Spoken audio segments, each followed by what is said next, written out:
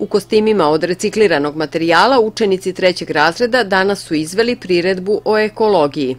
Učiteljica Lara Jovanović, koja je pripremala đake, kaže da je cilj da deca na zanimljiv način stiču znanja o očuvanju svog okruženja. Od svih ovih materijala koje imamo svakodnevno u domaćinstvima, kao što su flaše, čepovi, papir, karton, da to iskoristimo na jedan lepši i zabavniji način za njih, tako da smo zajedno u saradnji sa decom i roditeljima napravili ove zanimljive, interesantne kostime, znači svaki unikatan na svoj način. I hteli da opet i ovu preškolsku decu decu upozorimo na važnost očuvanja životne sredine kako bi nam duže trajala. U školi 8. septembar redovno se organizuju slične radionice i edukativni programi iz oblasti ekologije. Neki od njih su i programi Zelena učionica i Čep za hendikep.